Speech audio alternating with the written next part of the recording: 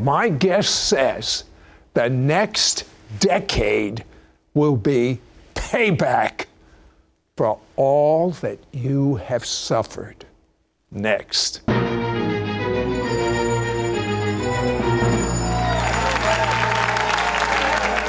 know, every time I get together with Donna Rigney, uh, there are two things that always happen.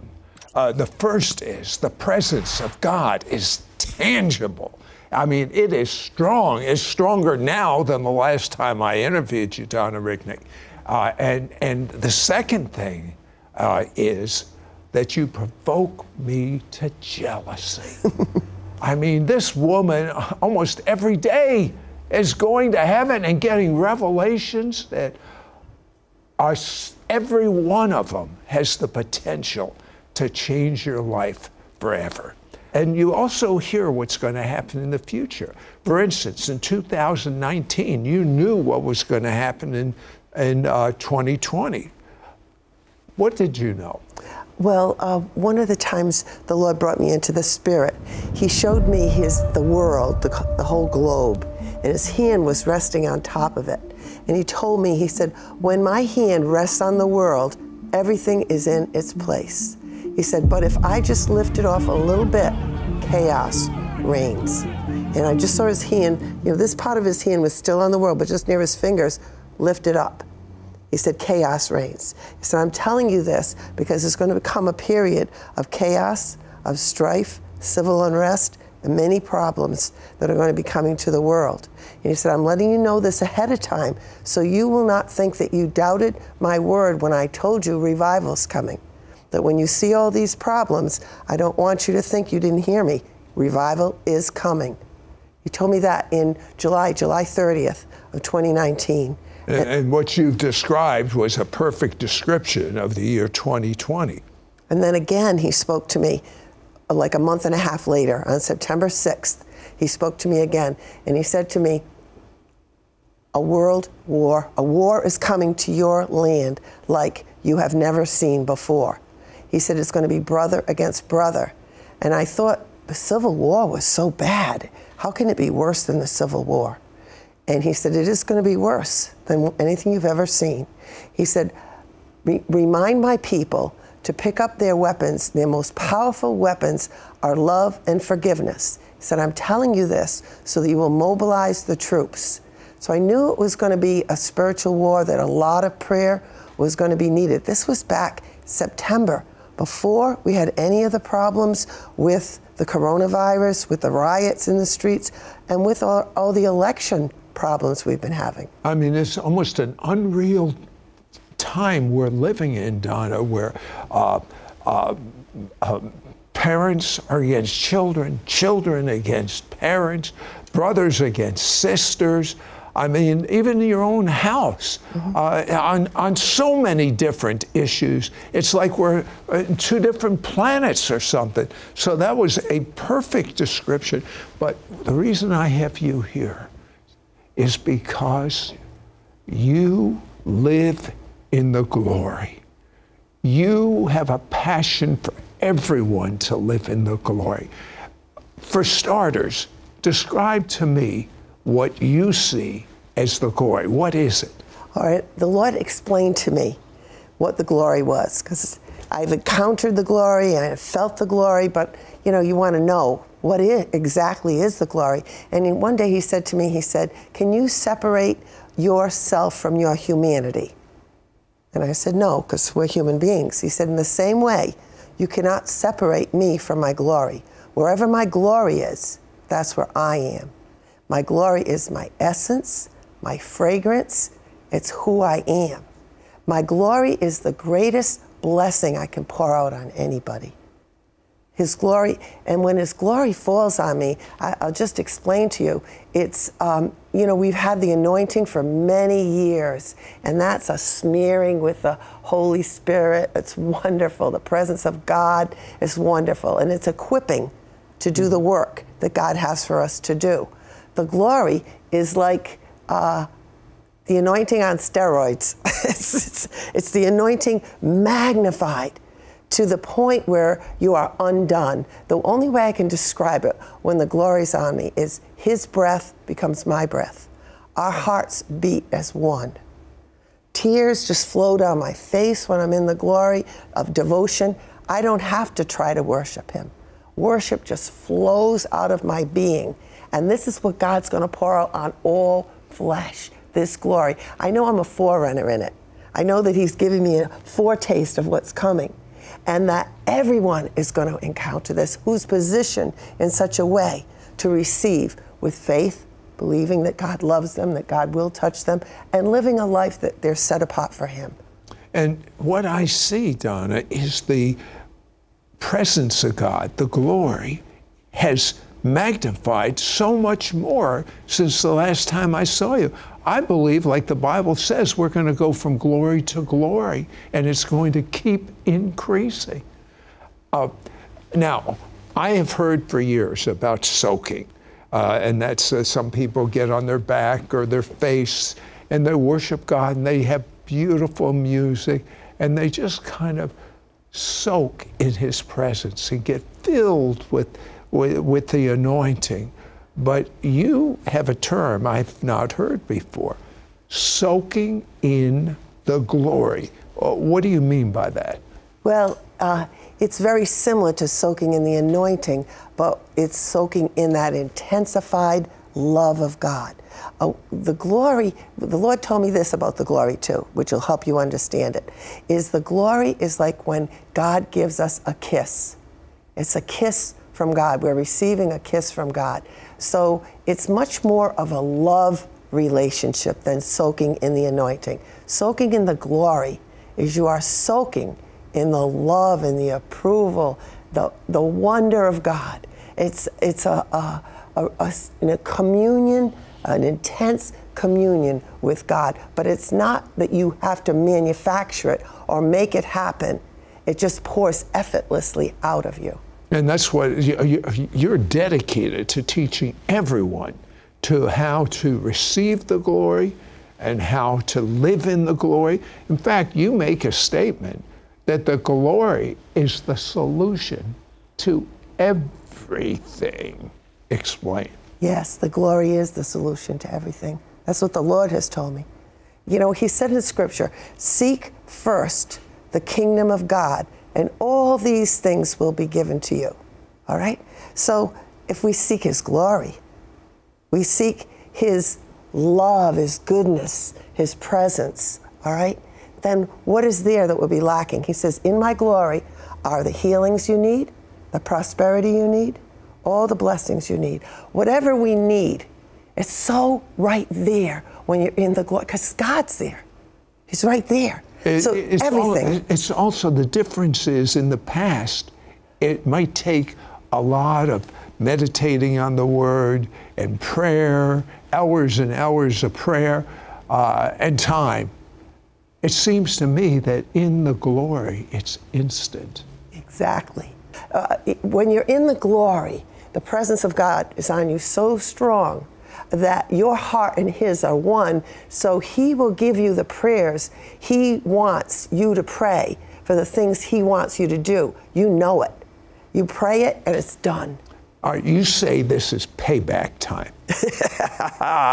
yes, that's what the Lord has told me that we have gone through 2020 was a horrible, horrible year. God did not do this. The enemy did this to us. And the Lord has shown me that we are in a time right now where He is going to cause the enemy to pay back what He's stolen from us, what we've lost. This is payback time. And He said it's not going to be one year of payback where great glory is going to be poured out on the world, where great, wonderful miracles, inventions, wonderful things are going to happen. He said, it's going to be 10 years. I'm going to give my children 10 years for the one that the enemy robbed from them. Many people have suffered terribly, Sid, during this last year. Terribly. They've lost loved ones, they've lost income, they've lost so much. And God says, I see it, I know it, and I'm going to pay you back. Well, you call it the payback of the good and the evil oh, harvest. All right. This is this is after he spoke to me about the war and everything. Now, a few months ago, he spoke to me. He said, "In the past, I told you that there was going to be a war coming to your land. To mobilize the troops. He said, Now I'm telling you, a great harvest is coming. Get ready for it. And the, I asked him, How do we get ready for this? He said, With intimate fellowship with me, spending time with me, spending time in my glory and in my presence. That's how you get ready for this great harvest.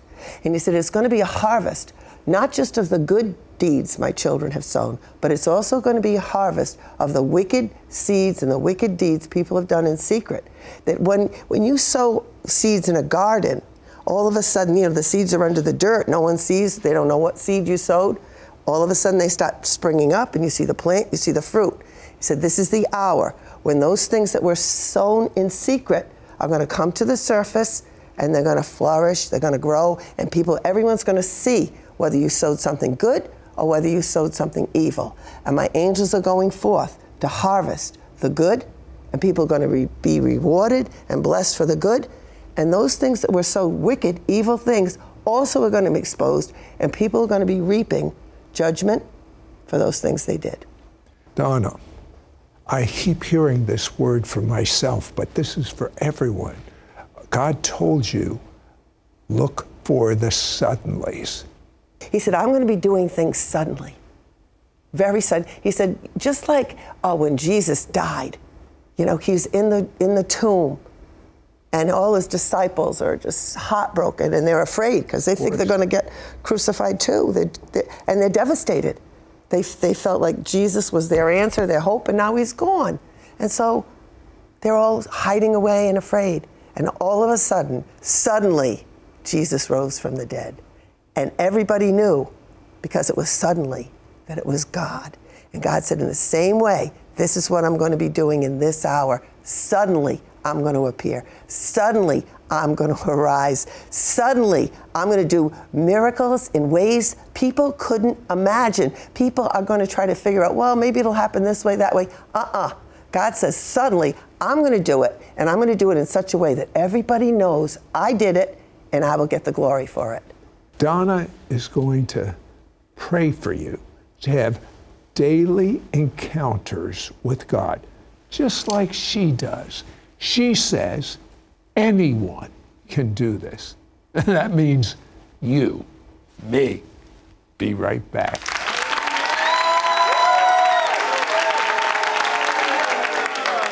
Hello, YouTube, Mishpocha. Mishpocha is a Hebrew word. It means family. This is Sid Roth. Welcome to my world where it's naturally supernatural. If you've been blessed by this show, please subscribe. Then click the bell so you won't miss a single episode of It's Supernatural. We now return to It's Supernatural. Donna Rigney is taken to heaven often. And she has revelation from Jesus that when she shares, it changes everything about you. For instance, Donna, you had an encounter in the glory, and Jesus said, and boy, would you like Jesus to say this to you you are protected. Uh, I was sitting on, in the Spirit on the top of the mountain. Often He brings me to this place I call the mountain of intimacy. And we sit together on a seat overlooking the world. And as we were sitting there, um, demons were climbing up the mountain, and as they got near the crest of the mountain, they started throwing grenades at me. And angels came, and they picked up the grenades. Uh, they handed them to Jesus. He took the pin out of the grenades and then gave them back to the angels, and the angels threw them back down the mountain at the demons, and the demons left. And he showed me, he said, When you're sitting in my presence, when you're in my glory, that's how protected you are. And I knew that the pins that he, the, he took out of the grenades was the only bit of truth that was in those missiles that the in those grenades that the enemy was trying to throw at me. So there was a little bit of truth. You know, the enemy uh, fabricates things, he threatens us. We hear this is going to happen, that's going to happen, this will happen to your husband or your finances, whatever. And the Lord took that one little bit of truth that was in there. He says, I'll take care of the little bit of truth that's in it. and you're fine. I'll take care of everything. You don't need to worry about a thing because you're resting, abiding in my shelter of my wing, and you're abiding in my glory. And I will cause what the enemy said he was going to do to you to come right back on him. We're, everyone knows, we're in a pandemic of mm-hmm. coronavirus, but you see a greater pandemic coming. Tell me about that greater pandemic. He says, Oh, yeah, the enemy's trying to spread this wicked virus, huh, with contagion. Watch what I do with the glory. I'm going to spread my glory with contagion. He said, But you're not going to have to touch somebody or breathe on them or cough on them for this to spread. He said, This glory is going to be spread just with people looking in your eyes people seeing you on the internet, on television, on a phone call. He says, You're not even going to have to tangibly touch somebody, but my glory is going to spread even greater and wider and further than the coronavirus. Um, Donna, you hear God so clearly. How can we encounter God that clearly? Give us a few pointers. Okay. Uh, I think the key really is surrender, is living a life of surrender. Uh, you know, being holy means being set apart for God. And to live your life for Him, where He's the most important thing, and you're seeking Him all the time. You have time alone with Him. I do that. I dedicate every day time, special time. Well, what do you do when you're alone with God? All right, what do you personally? What I do personally is I will go into my prayer room. I put on my soft Christian worship music and I, I, sit alone with him. I get my notebook and my pad ready because I know he's going to talk to me. I've learned in the past when I've had a not so good morning and go to s- sit with him, I think, oh, I'm not going to hear God today. And I heard him say, as clear as anything, where's your pen and your pad? Because I wasn't expecting he was going to talk or I would hear him. And he, he corrected me. And as you worship, you know, as you play the soft music and you're loving him and worshiping him and expecting that he's going to talk to you. Uh, you know, knowing my father loves me and he wants to talk to me. He sent his son to die on the cross so I could have intimate fellowship with him. Of course, he's going to talk to us. And for years, I was seeking God and trying to hear from him, and I couldn't hear him. And what I learned was I, he was always talking, but I wasn't recognizing his voice. So was, I learned to quiet myself, get rid of the distractions, focus on him, picture him, picture him there before me. Just and then the first couple of words I would hear in my spirit, not outside me, but in my spirit, write them down. And then as I wrote them down, that helped my mind to focus. So I wasn't distracted thinking about cooking dinner or whatever. I'm just thinking about these words I'm hearing and writing them, and then he continues to speak, and I continue to write and write, and that's how I learned to get all the revelations. And then, as he would talk, many times he would bring me in the spirit into heaven, to hell, to different, to the mountain of intimacy, different places. He'll bring the greater your faith. I learned this too. The greater our faith is, the more he can show us. So to have faith that God will show me these things Whatever God wants to show me, He'll show me because He's God. I'm not going to stop God by my unbelief. He'll give me the faith I need. And I pray, Holy Spirit, give me the faith I need for these encounters. Tell me about the flowers you saw being sent to earth. All right. This was recently. Recently, the Lord brought me back in the spirit. I had been there previously to this beautiful ballroom in heaven. And I saw all the saints wonderful, wonderful. The, the great crowd of witnesses were all there. And they're dancing and having a wonderful time. And I'm like, we're having a lot of stuff going on here on the earth. How come you're having so much fun? And Jesus said to me, He said, The Father is in complete control. He knows the beginning from the end, He knows what's coming and they're laughing, they're having a wonderful time. And then I see all these flowers. Now, the father's sitting at the very end of this beautiful ballroom on his throne, but there's a mist over it, so I can't see him clearly. And there's beautiful flowers all over the floor in front of him at his feet. And, and then I saw the, some people from the crowd of witnesses go over, pick up a flower. They, they look carefully to find the flower they want to get the flower, smell it, hold it to their heart, and then they'd run to the other side of the, way far to the other side of the room where there was a balcony and throw the flower off the balcony. And I looked in the spirit and I could see people on the earth worshiping with their arms in the air, worshiping God, and those flowers were falling down upon them. And what I saw was that these flowers were covered in the glory. They're at the feet, feet of the throne of God. They're the prayers you're praying, I'm praying, we're praying, everybody's praying. Those prayers ascending to God, like they said, our prayers are held in bowls in heaven. He was showing me them like flowers. In the great crowd of witnesses. And I believed that the people that were going over looking for the flowers were looking for our loved ones that have gone before us, looking for our prayers that we prayed, getting our prayer partnering with us. Oh, yes, I agree with this prayer, and throwing it. And what the Lord showed me was the prayers are easily able to be answered because so many people have been praying, and angels have been released to open the portals of heaven. So these flowers or prayers, answered prayers, easily would get to us. He said, The portals are open. He said, What I'm showing you is not what is coming. This is a now word. This is happening now. It's time to pray. Okay. It's time to release that glory that you are filled with to give us a jump start in hearing God, in experiencing God, into even visits to heaven. Pray that right All right, now. all right. Lord, uh, just like when Paul said to Timothy, I long to come and lay hands on you and impart some gift to you. I say that to you, to everyone that's watching right now.